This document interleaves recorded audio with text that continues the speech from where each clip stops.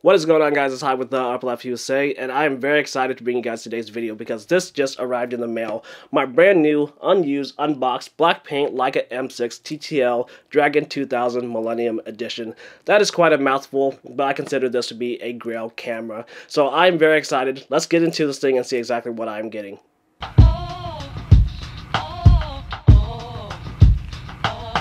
So on the outside, this looks to be a very typical Leica box, white with black lettering and of course the red Leica dot.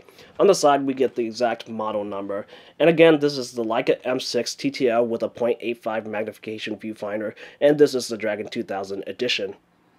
So let's open up this thing and see exactly what we are getting. So right up top is the Leica strap. And I'm going to go ahead and just leave this in here and not open it up because it's a very typical Leica strap. I'm never going to use it, so I'm just going to put it aside. And look at that, marbled. Inside a box is another box.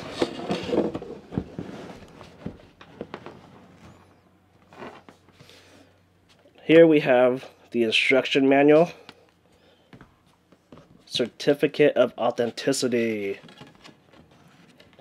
Give you a sneak peek. Mine is number 123 out of 500, but I'll talk about this later.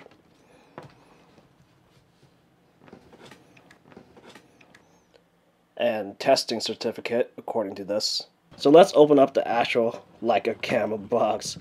Very exciting. Oh, there it is. In this nice red velvet seating. Alright, let's get this thing out and feel it for the first time.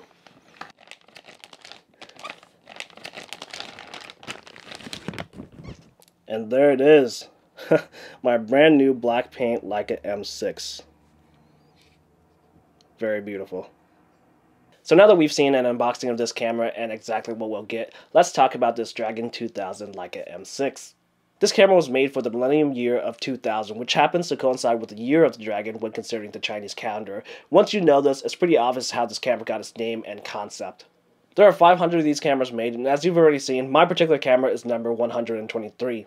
One thing to remember when buying a camera of a limited run or of special edition, and especially ones that are numbered, is that some numbers are going to be more special than others. The camera with number one is likely going to be the most valuable and sought after of pretty much any edition that you buy. Then you have numbers like 500 in this particular run that ends the run. So the first and the last are likely going to be the most sought after numbers. Then you have numbers like mine, number one, two, three, which just weirdly goes in order.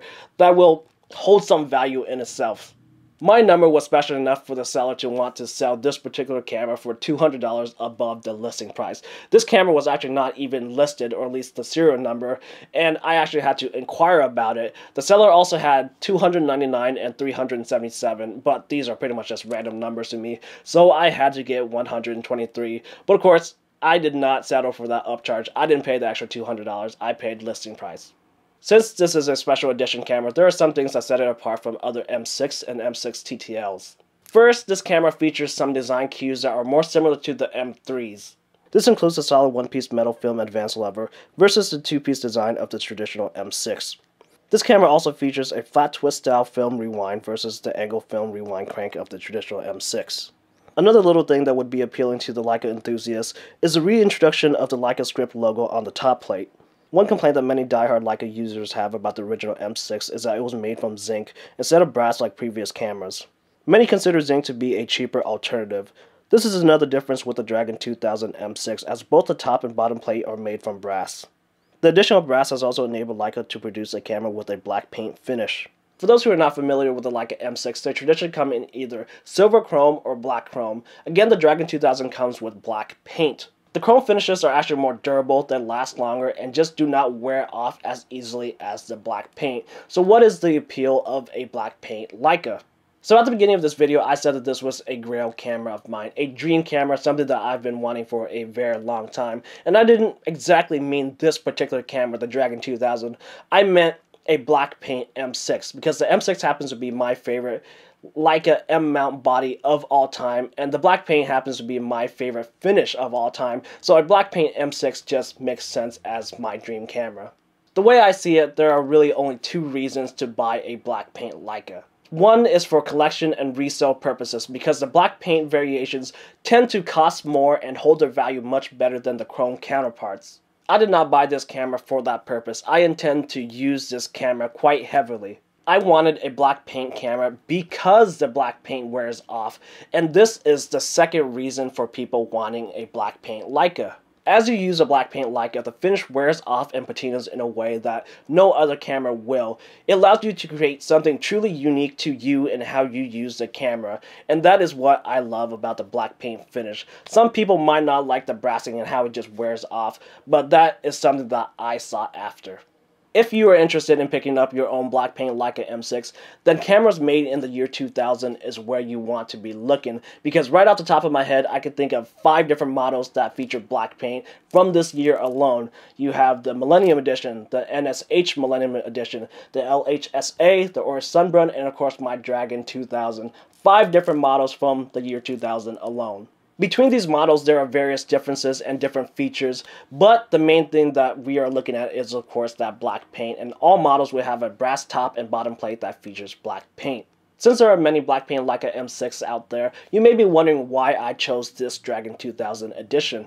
Well, first of all, I knew that I wanted an M6 with M3 controls because I prefer the M3 Film Advance and Rewind. They look better, they might not work better, but they are a lot cooler aesthetically to me. This would mean that the LHSA model and the Oresundsbron model are pretty much out the door because they're of more traditional M6 designs, pretty much an M6 with black paint. Like the Dragon 2000, the Millennium Edition and the Millennium NSH Edition both offer a Leica M6 with some M3 controls, so these were also in the running for the camera that I wanted to buy. But the only problem with this is that the Millennium Editions generally cost more, a lot more than the Dragon 2000s, and a lot of this is very political, but it really all comes down to collectability. The Millennium editions, both of them are much more valuable than the Dragon 2000 edition. All of these models were available when I purchased my Dragon 2000, and I actually wanted the NSH Millennium Edition the most, not simply because it was the most rare and most valuable, but because it offered the most black paint parts. If you are observant, you probably have already noticed that the strap lugs on the Dragon 2000 edition is actually silver. On the Millennium editions, these are actually black painted. Whether or not this is worth the extra 1500 to buy the Millennium NSH model is up to the buyer, but for me, ultimately, as someone who intend to wear the black paint off anyways, I just didn't see it being worth it in the long run, so of course I bought my Dragon 2000.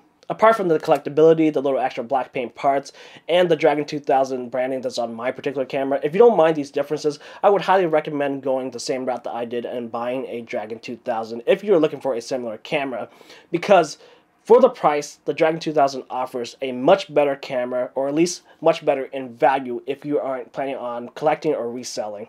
Another thing to consider when buying one of these black paint M6s is the viewfinder magnification. Like I said, the Dragon 2000 offers a 0.85 bank viewfinder, and this is pretty standard across the board on all five models. If you want a 0.72, only the LHSA model and the Millennium Edition offers this. I don't really mind the 0.85 mag viewfinder because my M6 Panda and the M7 both have a 0.72, so I really don't mind trying something different at all. I actually wanted the 0.85. So in conclusion, if you're interested in picking up your own black paint M6, there are quite a few to choose from. I'm happy to be able to pick up mine in the condition and number that I wanted, so I'm going to use this thing to the ground. I'm excited to see how the black paint wears off and patinas, and I can't be more happy with my purchase. If you're interested in picking up your own black paint Leica M6, I tried to include some links in the description below to lead you to the right places. Give this video a thumbs up if you liked it. Share, comment with any thoughts or questions that you may have. Don't forget to subscribe for more content. Thank you for watching this video, and I'll see you guys next time.